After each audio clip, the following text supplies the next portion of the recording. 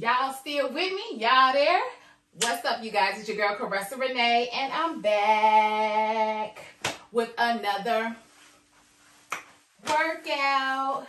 So this is week two. We already knocked out, or I already knocked out week one. I did three days. I did Tuesday, Wednesday, and Friday. Y'all, I was planning on doing Sunday, but these legs, these arms, this back, it, I was out of there. I, I couldn't do no more.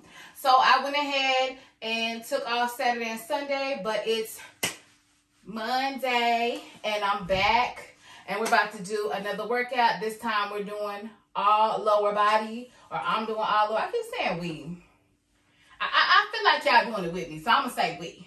But we're doing all lower body today. So, you know, definitely get up, get motivated, you know, do some, move around. If you don't do these workouts, just do something because summer is right here. It's right there.